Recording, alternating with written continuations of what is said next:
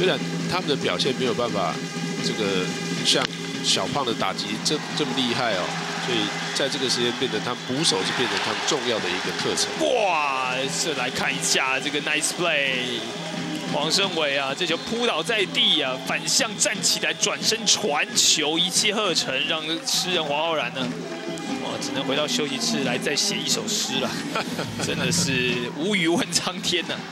打的已经够好了，三游之间，但结果呢没传出去。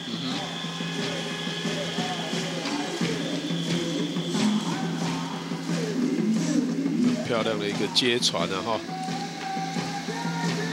完全没有停顿的一个空间呢，在而且上来传球必须要很准确。